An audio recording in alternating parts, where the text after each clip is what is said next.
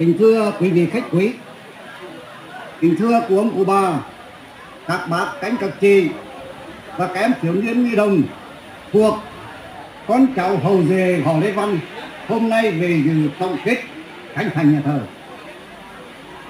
Hôm nay chúng tôi rất là phấn khởi, tôi và đại diện đội đồng họ lê tỉnh cùng ngư đại diện đội đồng họ lê thành phố, đến dự trước hết cho phép tôi thay mặt cho hội đồng họ lễ tỉnh và thành phố, xin gửi tới quý vị đại biểu, gửi tới các bà cánh các chị và tất cả con cháu hậu duệ họ lễ văn lời chúc sức khỏe, hạnh phúc, thành công và chúc buổi lễ khánh thành nhà thờ chúng ta thành công tốt đẹp.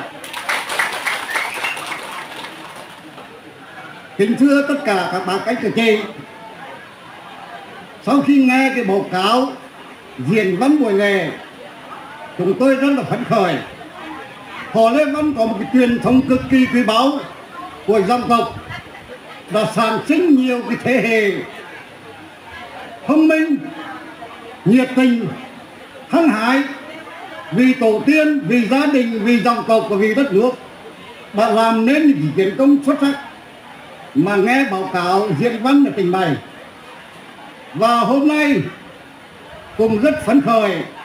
Được đến dự, nghe cái báo cáo sơ bộ về cái khánh thành nhà thờ họ Lê Văn. Có thể nói rằng, trong quá trình thực hiện cái nhà thờ này, không ít những khó khăn. Tiếng này tiếng kia, họ này khó kia. Nhưng, dưới sự đoàn kết nhất trí của con cháu hậu duệ họ Lê Văn, đặc biệt là những người có công trong đóng góp trong công việc, trong đồng viên để bà con chúng ta đoàn kết, xây dựng thành công nhà thờ hôm nay thay mặt hội đồng họ lễ tỉnh và họ lễ tỉnh và họ lễ thành phố, tôi nhiệt liệt chào mừng và xin tặng một làng hoa tươi đẹp cho nhà thờ và dòng tộc họ lê văn để mãi mãi hoa tươi và xây dựng dòng tộc họ lê văn chúng ta ngày càng lên mạnh. Kính thưa các bà cánh các chị, nói đến à, xây dựng nhà thờ họ lê, chúng tôi thấy rằng là không những vừa đẹp đẽ, xanh tươi, hoành tráng, nhưng mà nó có một cái ý nghĩa hết sức quan trọng. Đó là thể hiện là cái nơi trung tâm để xây dựng bốn mục tiêu năm biện pháp và hai đột phá của hội đồng ngõ lễ Việt Nam đề ra. Bốn mục tiêu đó là gì? Kết nối dòng tộc là cái nơi tiên trên tổ là cái nơi hướng về cội nguồn, là cái nơi để chúng ta vận động con cháu hậu duệ thi đua lao động sản xuất, học tập, công tác, xây dựng cuộc sống ấm no hạnh phúc. Như thực hiện tốt mục tiêu dân giàu nước mạnh, xã hội dân chủ công bằng văn minh như đảng, bác hồ và nhân dân ta mong muốn. Thế thì một cái điều mà tôi cho rằng là có ý nghĩa hết sức quan trọng. Không những trước mắt, mà mang tính thế hệ này sang thế hệ khác. Vấn đề thứ hai nữa là muốn xây dựng được bốn mục tiêu này, nhân cái buổi lễ quan trọng này, tôi xin đề nghị con cháu hậu duệ họ lê văn đã có truyền thống rồi. Phải thực hiện được năm cái biện pháp này. Một là tư tưởng của tổ chức. Tư tưởng thì tôi cho rằng là có hai cái hết sức quan trọng. Đó là phải nói rõ cái truyền thống cực kỳ quý báu của cha ông chúng ta trong họ lê văn. Mà như cái bài diễn ca, dân ca nghệ tình hôm mới diễn thế này tôi cho rất hay. Và có tính giáo dục rất cao. Cái thứ hai là đề nghị dòng tộc họ lê văn tổ chức xây dựng thành lập tức là cái cái cái cái cái, à, cái hội tức là cái cái cái cái, à, cái, cái, cái hội đồng gia tộc. Mà phải xây dựng được hội đồng gia tộc để tham mưu cho trưởng thôn à, tham mưu cho tộc trưởng làm tốt cái nhiệm vụ này. Bởi vì à, cái này là cái mà kinh nghiệm rất nhiều nơi rồi nơi nào có hội đồng gia tộc, thì nơi đó làm ăn càng ngày càng phát triển. Đoàn kết, vui vẻ, chung sức giúp đỡ lẫn nhau. Đó là cái mục tiêu nhất.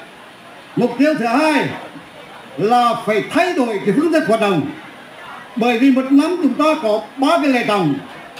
Một là rằm tháng giêng rằm tháng bảy và dô tổ hoặc là dô thân tổ thì trong ba cái này thì mình nên đổi mới như thế nào để tạo lên không khí vui vẻ? À, tri ân các tiến tổ nhân tộc đó là thứ hai. Cái thứ ba là xây dựng nguồn quỹ. Xây dựng nguồn quỹ hết sức quan trọng. Là như hôm nay thì chúng tôi đã là khởi.